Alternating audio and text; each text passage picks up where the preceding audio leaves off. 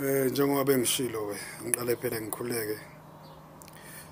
Njengoba bengishilo ukuthi ngizoveza iphangoli eh bese ngiveze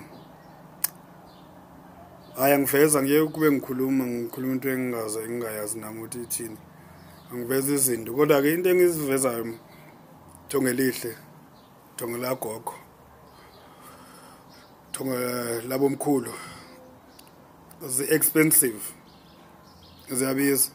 Ingakho ngingazisho ama price just ukubuka nje. Khona umuntu mayifuna into azi ukuthi ngizomnikeza into eyiyona.